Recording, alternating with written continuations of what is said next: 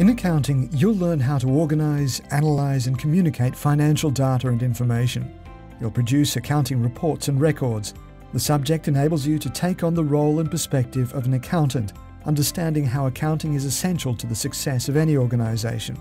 Studying accounting leads to tertiary studies, vocational education, or employment in commerce, management, banking, finance, economics, and law. It'll give you an advantage in entrepreneurship and business management in many types of industries, both locally and internationally.